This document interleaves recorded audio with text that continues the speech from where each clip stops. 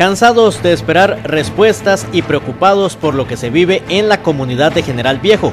Fueron razones de peso para que un grupo de vecinos se uniera y levantaran un puente a la par de la antigua estructura que colapsó en octubre anterior durante la tormenta tropical Nate.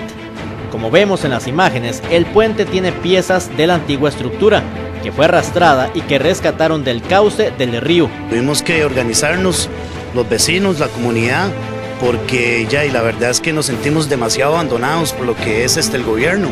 Definitivamente este, ah, son muchas cosas, hay gente que uno piensa primero en la salud de la gente, en un caso de una emergencia, eh, mira, darle la vuelta por peñas, por rivas, es imposible. Entonces, o sea, ahorita lo que estamos haciendo es un puente, un paso provisional para poder que el pueblo vuelva otra vez a su normalidad un poquito.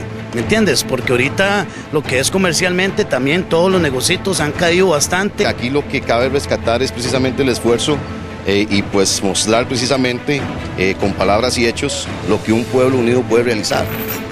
mira, un mensaje pues para las autoridades de, alta jerarquía de nuestro país de que precisamente un grupo eh, de ciudadanos de un pueblo muy humilde es capaz de realizar obras de esta magnitud. Y es que con mucho esfuerzo de estos vecinos de General Viejo pudieron rescatar piezas que le dieran forma a la estructura, pues la necesidad de un paso en este sector es vital para la comunidad que está a solo 10 minutos del centro de San Isidro del General. Y fuimos y vimos el puente y vimos que sí se podía. Y ya la unión hace la fuerza, ¿verdad? Dijimos, sí se puede, vamos a sacar ese muerto de ahí, lo vamos a revivir y entre todos.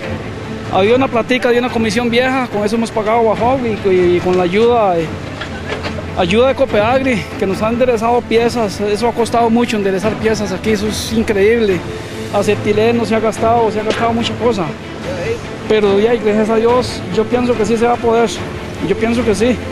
La caída del puente hizo que los gastos de vecinos de la zona aumentara y los negocios disminuyeran las ventas, lo que provocó hasta el cierre de al menos dos comercios, situación que encendió aún más las alarmas de emergencia e hizo que se buscara una solución. Han cerrado dos negocios, ya han cerrado y todo, entonces este, de todo punto de vista es, es, es este, una emergencia y es preocupante, entonces eh, esto es hecho, como ustedes ven, por puro el pueblo, puro esfuerzo del pueblo que venimos, invertimos horas, eh, vemos ahí cómo hacemos para juntar platicas, para pagar manos de obras, para pagar este, horas de bajo y un montón de cosas. Entonces, este, espero que esto le sirva al gobierno, le sirva al gobierno para que vea que si nosotros podemos, ¿cómo es posible que ellos nos den la espalda de la manera que nos la están dando, verdad?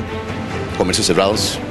Eh, cuestiones de emergencias, gente que tiene que invertir más tiempo para trasladarse a sus trabajos, gente que tiene que sacar más de sus bolsillos para llenar su vehículo de gasolina, etcétera, etcétera. Entonces, pues, hacer el llamado y que este puente pues quede como ejemplo para todos los ciudadanos de que precisamente una comunidad organizada sí puede lograr este tipo de obras llevarlas a cabo.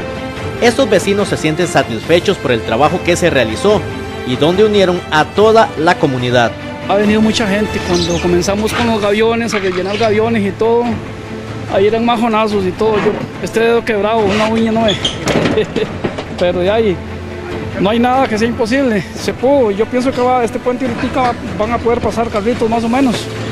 No vamos a decir que trailer ni nada de eso, pero sí se va a poder. Y con la ayuda de todos, más, más se va a poder todavía.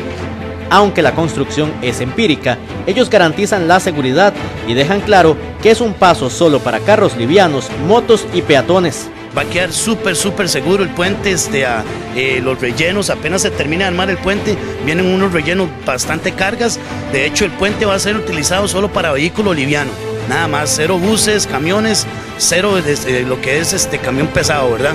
La esperanza de estos vecinos de General Viejo es que un nuevo puente se pueda construir este año, por parte del gobierno, pero mientras tanto esperan que les respeten la obra que hicieron con tanto esfuerzo y unión de una comunidad generaleña.